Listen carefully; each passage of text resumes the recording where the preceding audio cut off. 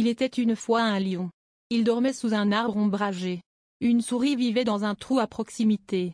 Il est sorti de son trou. Il commença à monter et descendre sur le corps du lion. Le lion s'est réveillé de son sommeil. Il était très en colère. Il voulait tuer la souris. La souris a prié pour sa vie. Il disait, S'il vous plaît, épargnez ma vie. Je vous rendrai votre gentillesse. Le lion eut pitié et libéra la souris.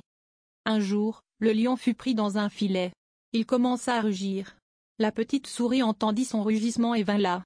Il vit le lion pris dans un filet. Il coupait le filet avec ses dents acérées. Le lion était libre. Il a remercié la petite souris pour son aide opportune. Moralité, faites bien et ayez bien.